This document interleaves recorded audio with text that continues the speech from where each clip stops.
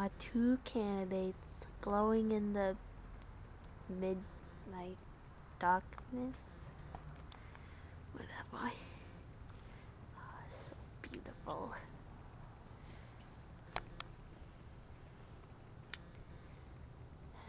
Happy Halloween! Vote on November 4th.